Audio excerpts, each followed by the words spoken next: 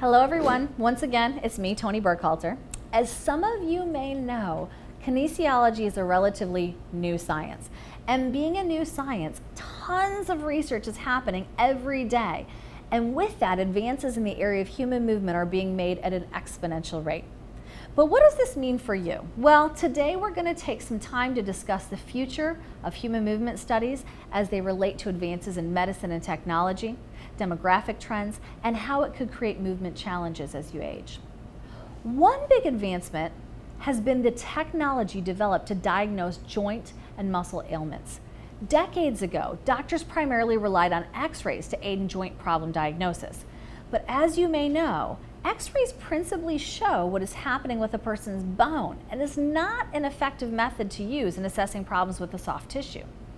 Today, imaging technology, which includes CT scans, MRI, or PET scans, can view ligaments, tendons, and muscles to better diagnose disease and injury.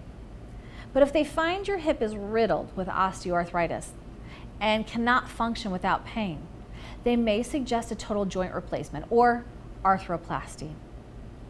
Arthroplasty is constantly being refined and daily advancements are taking place in this specialty.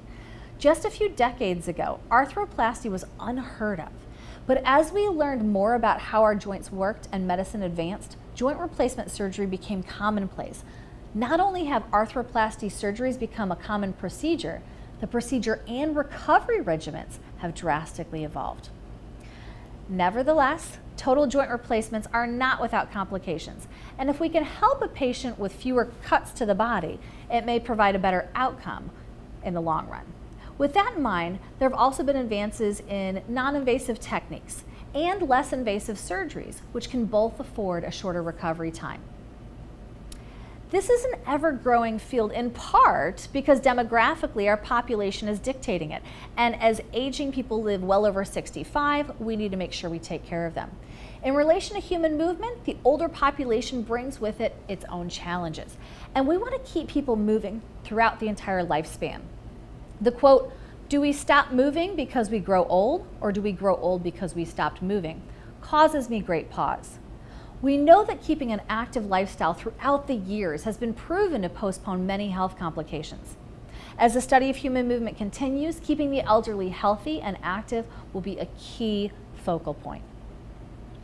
Diagnostic techniques, non-invasive treatments, and even whole joint replacements are important to the advancement of human movement. Because as researchers are learning how we move and function, doctors are able to develop medical practices to help reduce injuries. And if we get injured, we can recover faster and return to activity quickly.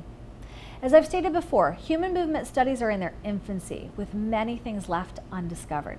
It's an exciting time to be part of the kinesiology world, and I'm glad you're a part of it now.